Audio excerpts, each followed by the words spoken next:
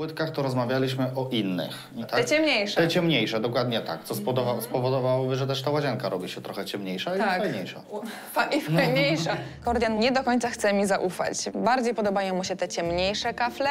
Wybrałam te jasne, bo one po prostu pasują do całego mieszkania. To jest kontynuacja, to jest całość. Okej, ale mimo wszystko chciałbym zobaczyć z tamtymi ciemnymi. Projekt całego mieszkania był naprawdę fajny, oprócz tego koloru kafelek w łazience. Pojedziemy do sklepu, ja wam pokażę i jedne i drugie płytki Okej. i wtedy zrozumiesz, o co mi chodzi, mam nadzieję.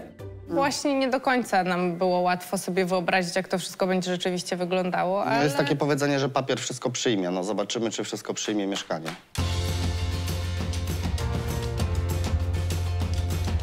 Cześć. Cześć, Dzień dobry, moi drodzy. Przed nami bardzo ważny dzień i ważne spotkanie, ponieważ musimy podjąć decyzję dotyczącą płytek w łazience. No i zobaczymy, na czym stanie. Dobrze, czekamy. Sprawdzimy.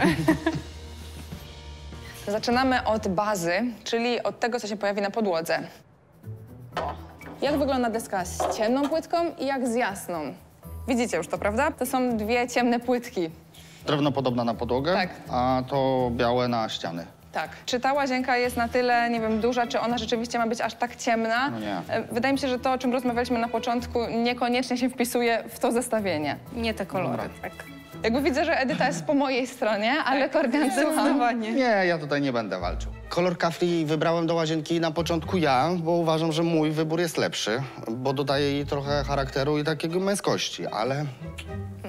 No, właśnie. Te kafelki nie pasowały w ogóle do reszty mieszkania, były takie oderwane od rzeczywistości, a chcieliśmy, żeby mieszkanie było spójne.